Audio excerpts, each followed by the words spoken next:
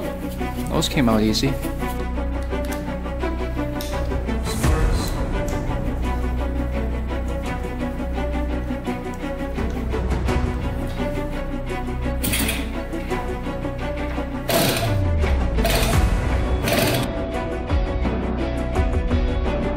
Alright guys, welcome to part two on the 1971 Yamaha CS200. Uh, these bikes are very close to the RD200, pretty much brothers of the RD200. Very cool bikes. Um, it's got the dual cylinders, dual pistons, dual pipes on this thing. Two stroke, very cool bike. And um, last video, we uh, picked this thing up. I think we, let's see here. what did we pay for? 50 bucks we paid for it. It was up for sale for $100 and we uh, offered 50 bucks and the guy was like, yep, come pick it up. Uh, it's been sitting for over 17 years. So it hasn't run in 17 years. Today we're going to fix that problem. We're going to make this thing run. So last video it popped over a couple times but didn't stay running. Um, it really didn't run. I wouldn't call it running last video. It was more of like, like I said before, just popping over. Um, the kickstart gear stripped out, so that's not good. I'm gonna looking into that today.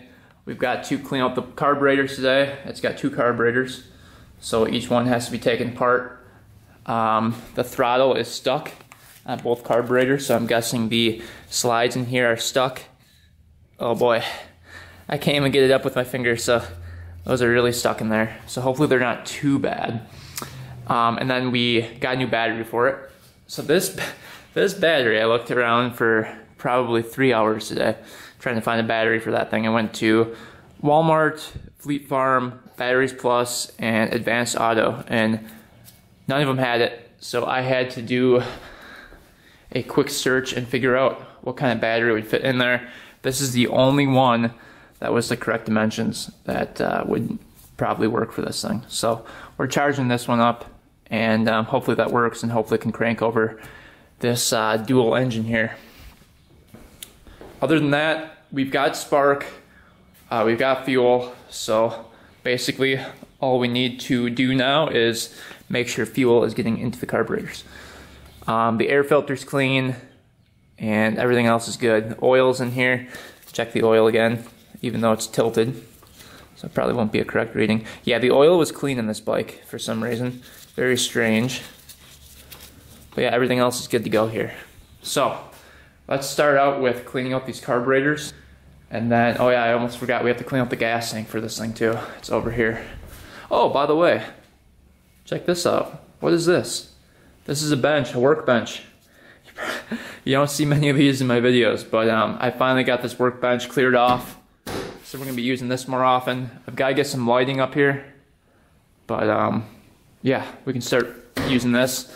And we got a uh, we got a vise here we can use. I kind of cleaned up the garage a little bit here, so it's looking a little bit better. Have to get rid of these tables and the ladder right here, but everything else is kind of organized. You can kind of see. Let's actually try to fix this this kickstart first. All right, so this somehow stripped out last video, and I was kicking it over. This thing actually has pretty good compression considering it was sitting for how many years. See if we can get this thing off of here now.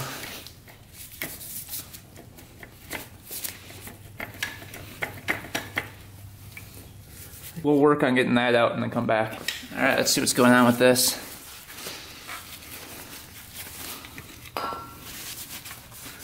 Doesn't look super rounded off. It's not too bad.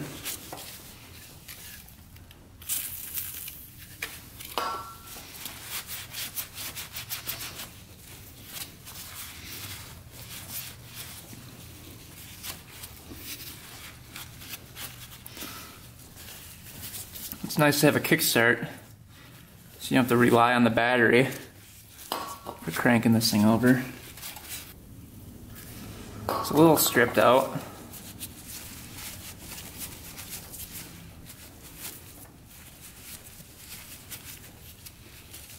does have a lot of grime in there though.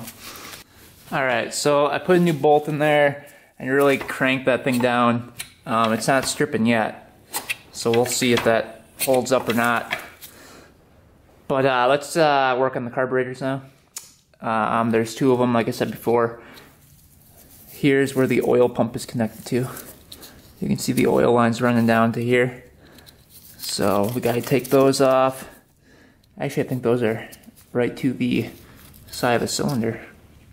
So we might not even have to take those off. Looks like there's a looks like there's a little fitting right there. We have to get in there with a screwdriver. Looks like a flathead.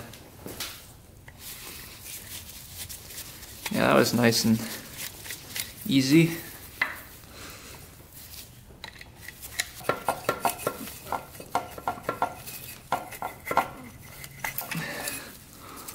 All right.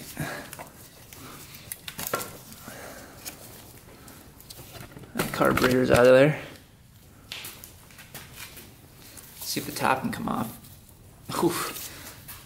She's on there.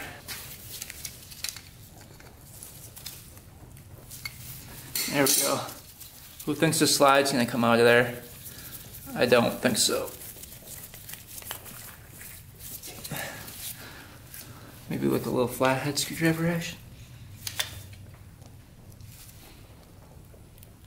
Whew.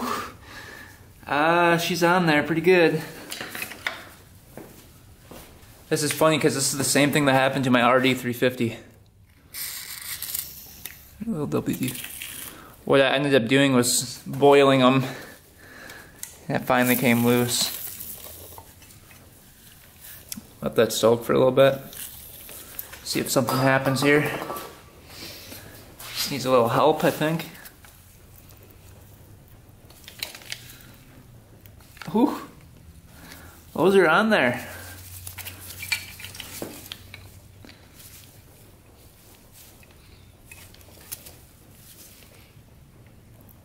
Coming.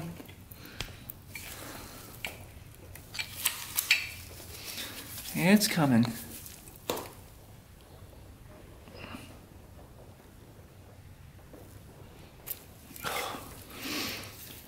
Yeah, there's a lot of sticky crap on there. That's why it was stuck. It's like rust. But we got the carburetor out. Just a little guy. And you can tell it's the, uh, the left side because there's a little port right here that connects to the other carburetor. Alright, let's try to get this one off of here.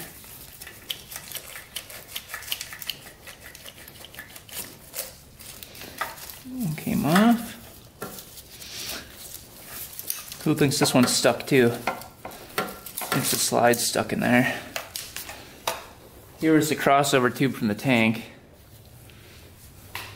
Junk. Let's see, is this... Ah, oh, it's on there tight. Thing. Oh, man. Oh. oh. Holy. That thing is on there. Man, oh man.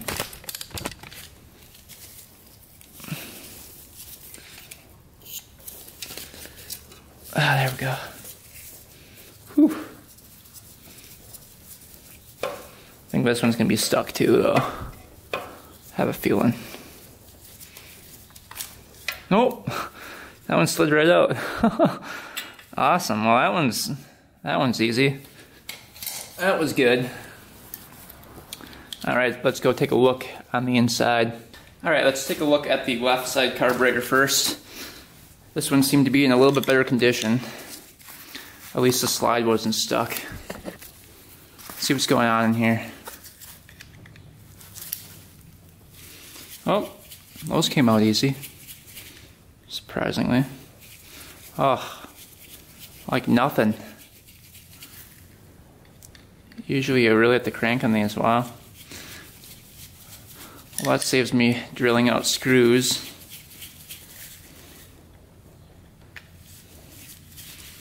Yeah, I like this carburetor so far.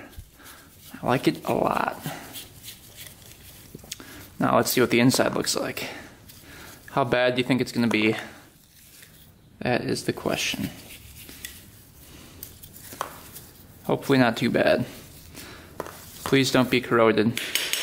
Uh, came off pretty easily. Oof. It's not, not horrible. Not horrible. Looks like that was repaired at one point. it's really not that bad. I'll probably let these sit in the ultrasonic cleaner for a bit. Just for reassurance, but let's see if we can get that out of there. Take this guy off there. Well, keep that on, I guess. All right. see what we're running for the main.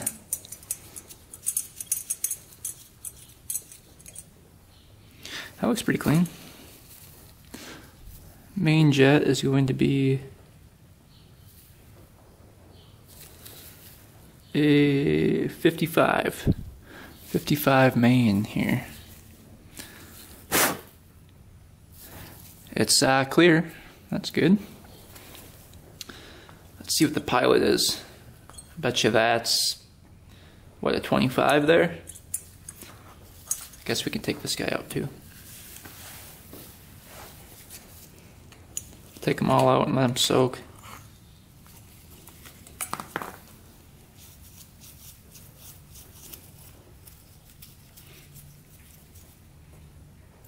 This is the idle adjuster.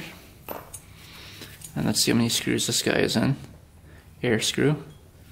We're at one, two, three, three and a fourth. About three and a fourth turns out.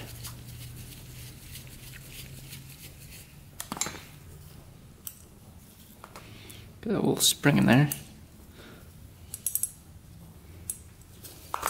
There we go. All right, now we've got that pilot jet. Gotta get out.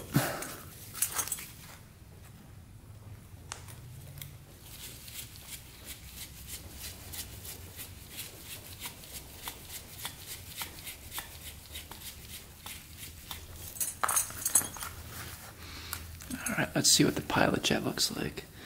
This one is a, yep, 25. Oh, no. Yeah, it is 25. I was right. That guy's clear. Wow. Actually clear. That's crazy. Don't see that very often. Let's see if the little... Yeah, the needle's even coming down. That carburetor's not even that bad.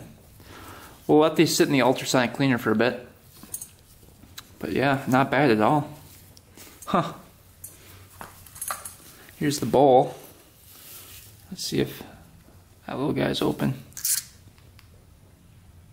Yep, that's clear too.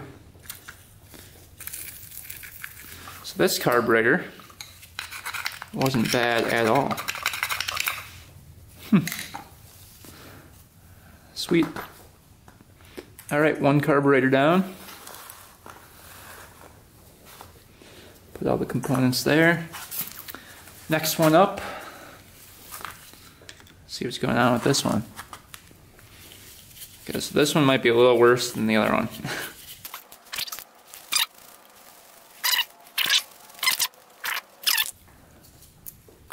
it's like a mystery going into it. Like, oh, how bad is it going to be?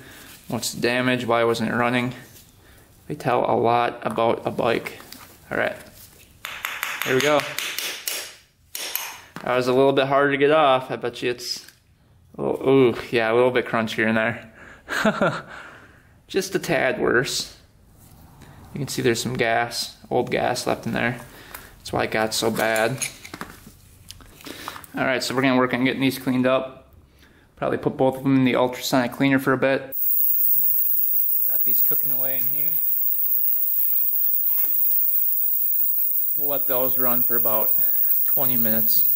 See if it cleans up. Whew, it's raining pretty good out here. Check that out. it's really coming down. Anyway, we got the carburetors done here. I have the ultrasonic cleaner and uh, all cleaned up. Looking pretty decent. Um, everything's put back together. They got, they got pretty clean in the ultrasonic cleaner, not too bad. I used WD-40 as a degreaser and then just hot water. And that's what they turned out like because I, I ran out of degreaser so yeah it wasn't too bad. And I put a new line on for the breather tube right there. So all right also I sanded down the the slide right here. Had all that gunk on it before. So let's test out the throttle and see if oh yeah those work. So the throttle's not locked up. It was the slide all right let's reinstall these carburetors put some gas in it and try starting this thing up. Check it out. This is the one that was stuck before. We got her.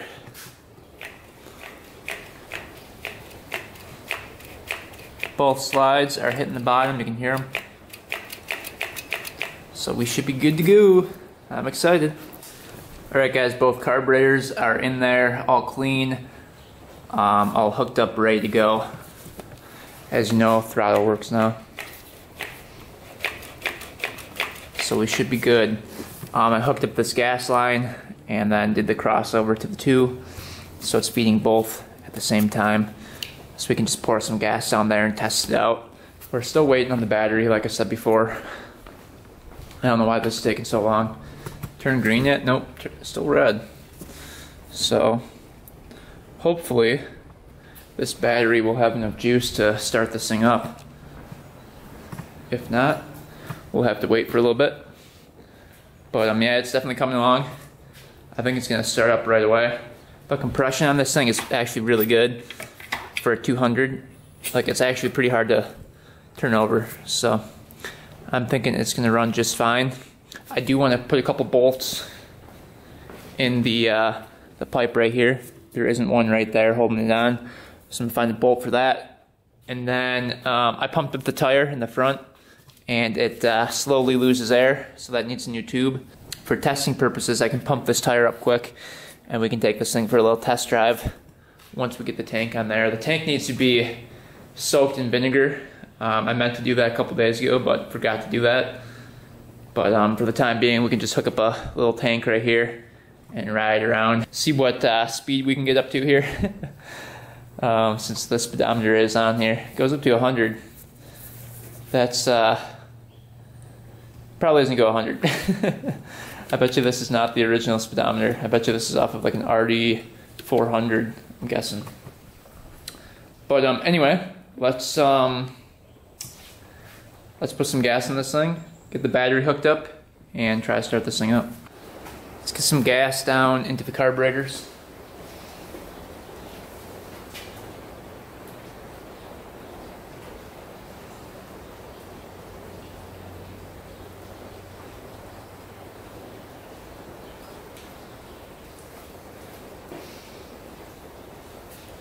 No leaking yet.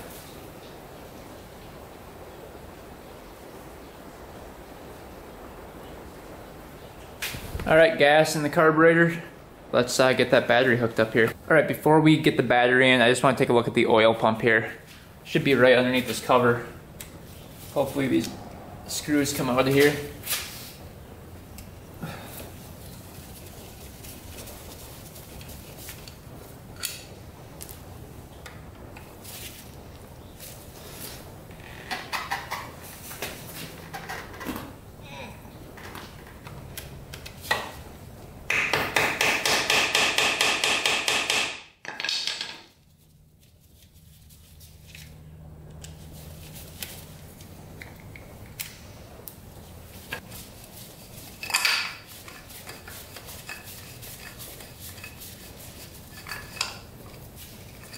All right, check out the oil pump.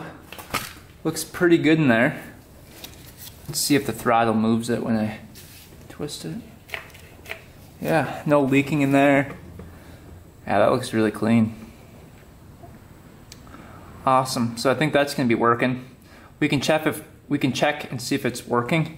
If you just hold this pump up like that, and then oil should be pumping through to this little fitting up here to the carburetor. You can see how it kind of leads up to the carburetor on either side. But that's how you test and see if that pump's working. We're uh, running premix, so it doesn't really matter at this point, but eventually we're gonna wanna check and see if that works. Probably before we add the tank of gas to it. All right, time to install the battery here. this battery was like $79. Way expensive. and it's just an acid battery, it's not like it's anything special. Hopefully it's a good one. Hopefully it works. Oh, nice.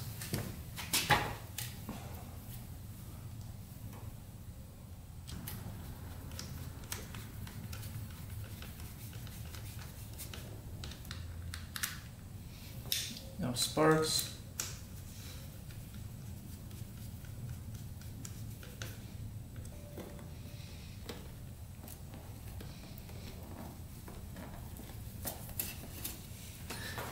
Aha!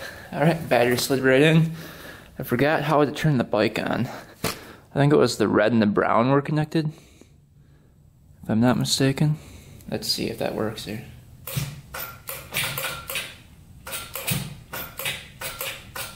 Yeah, but it looks like it doesn't turn over quite yet with that battery.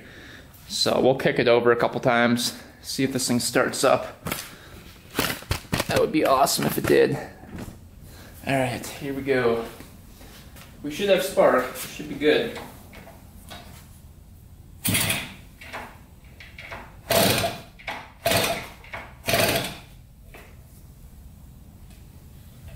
Choke it.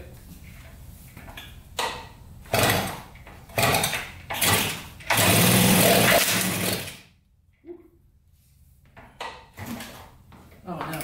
Crap.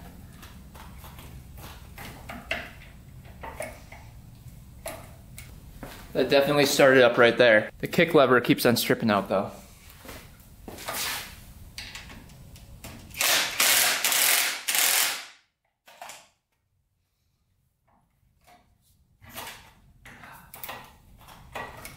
Hmm.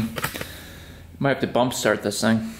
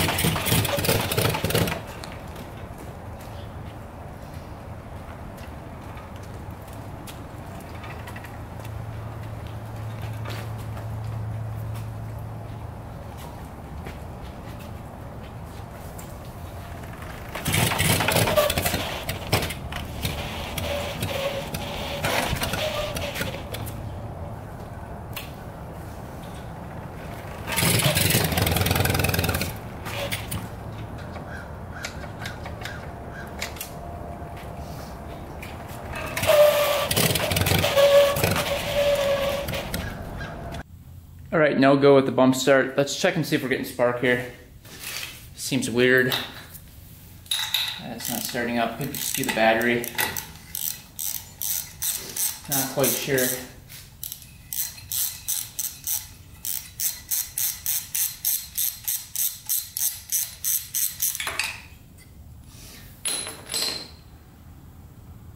See if she's getting spark.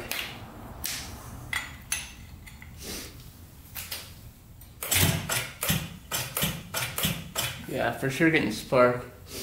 Maybe we're just out of gas. All right, no go on the bump start again. Um, I'm gonna take out both plugs, check for spark, make sure the timing's correct, and then try this again. All right, let's see if it starts up now. I've got the kick lever to work, kinda. We'll see.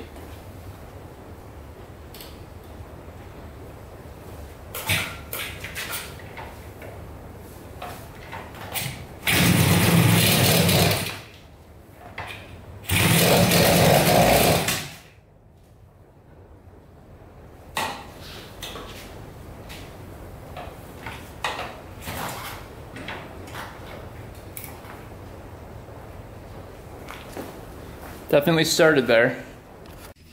All right, back the next day. Bought a new battery. It's bigger, better. Um, it's a solid state one without the. Uh, it already came pre-filled with the acid and already charged up and everything. Hooked this up. Still didn't crank over. Then all of a sudden, just stopped cranking over altogether. So I'm like, what the heck? So came over here to the starter. um, generator right over here. And I could see like a little spark over here when it was starting. I was like, what the heck? What is it doing? You know, why is it doing that? So this spring right there, I don't know if you guys can see that. Right there, that spring, that's pushing this thing down to make contact. And this was touching that metal piece in there and it wasn't it was sparking and it wasn't pushing that all the way down. So I'm thinking the spring is worn. Let's see if I can get a screwdriver in here. See how it pushes that thing in like that? It's supposed to be out. See, it's hard with one hand. Yeah, like that. So it's like that, pushing on it like that. I don't know if you guys can see that in there.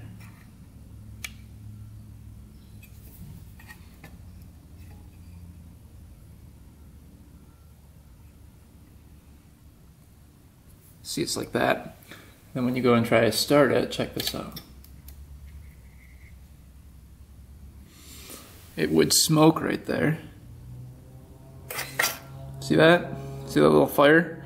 But watch this, when you go like this, and you push that in, I'll have to get this set up on a tripod. All right, let's try this again. So I'm gonna push down on this black thing, holding the starter.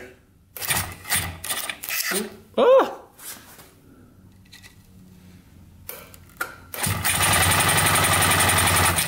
See that cranks over just fine. It's very strange.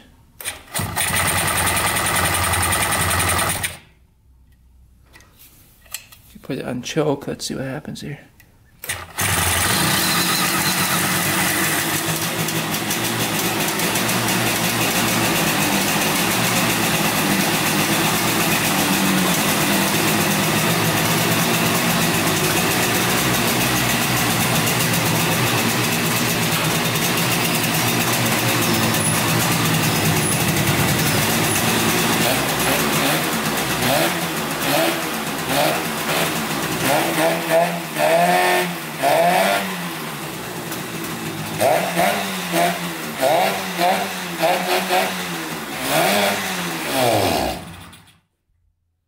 She's a little smoky.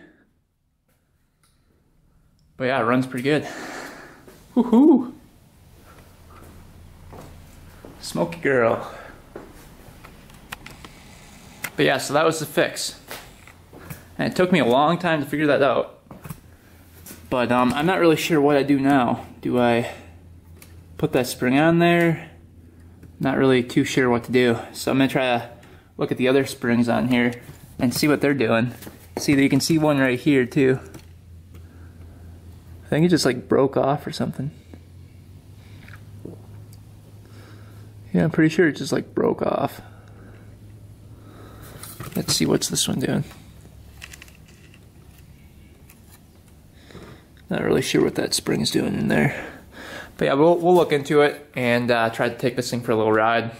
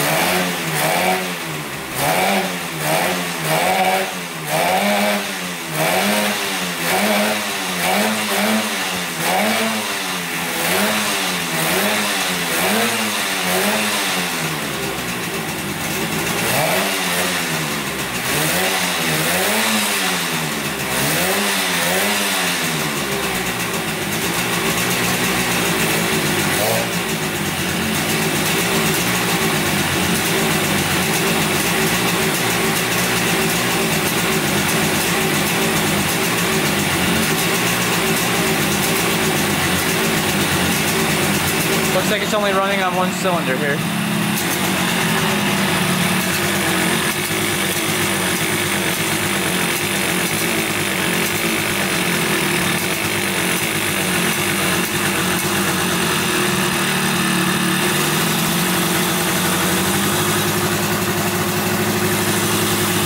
This one's not sparking enough though.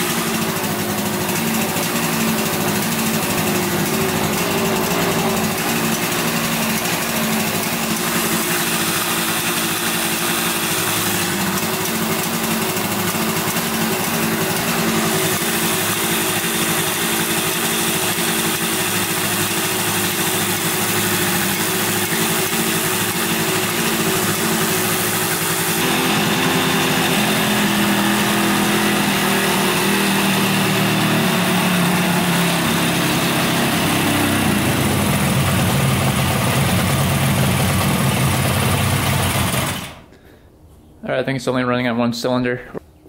We're gonna check for spark in the spark plug, see if we can spark. Alright, we've got spark. We're gonna we're gonna test compression right now on the left cylinder. So we get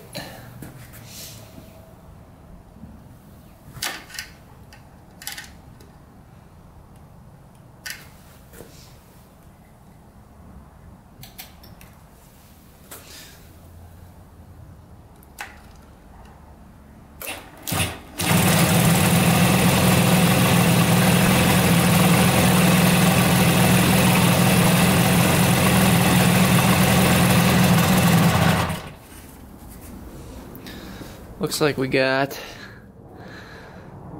110, 20, 125 pounds. That's good. It should be running. We'll try swapping the spark plugs.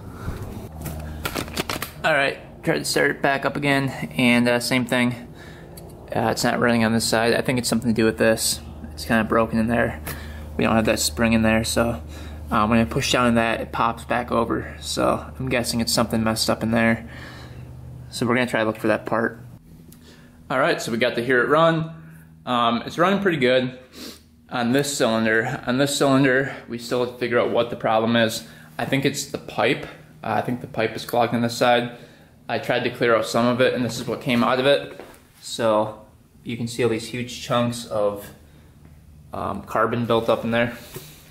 So I'm guessing it's the pipe. I took off the pipe and it did run a lot better without the pipe.